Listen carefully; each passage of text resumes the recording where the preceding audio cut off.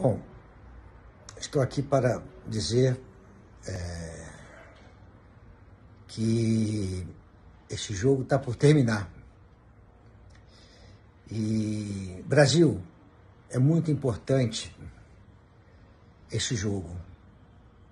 Esse jogo vai definir o futuro do nosso Brasil. Que pode ser definido no primeiro tempo de um jogo. Não precisa segundo tempo. Nós podemos entender que não temos que dar chance ao adversário nenhuma. Então o Brasil, hoje, é o Brasil das pessoas que querem o melhor para o Brasil contra um sociopata. Eu pensei que era um psicopata, mas depois analisando direitinho eu vi que é um sociopata. Então o Brasil hoje com tudo nas mãos para tirar esse sociopata do poder e nós temos um Brasil melhor para frente. Melhor para frente com Lula. Lula na presidência. Alckmin como vice. Aí nós vamos ter um Brasil bem melhor. Lula e Alckmin, com certeza, vai ser o melhor para o Brasil. Então, Brasil contra sociopata. Somos Brasil. Somos Lula, somos Alckmin.